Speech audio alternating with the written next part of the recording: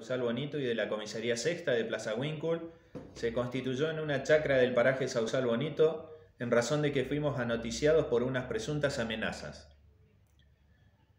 que, son objeto de investigación por parte de la Fiscalía Local. En este suceso se encuentra involucrado un joven de 23 años de edad, un funcionario de esa comuna y un efectivo policial, quien se encuentra bajo licencia especial y sobre quien recae una investigación administrativa para determinar responsabilidades emergentes. Cabe mencionar que conforme los hechos denunciados no hubo ninguna pelea que haya estado involucrado personal policial de esta institución, tal como se informó en algunos medios de prensa. ¿Pero qué ocurrió finalmente? Eh, amenazas. es lo que nosotros estamos investigando, son amenazas. ¿Calificadas? Eh, posiblemente calificadas. ¿Abuso de armas? No, nada. No, amenazas. Bien.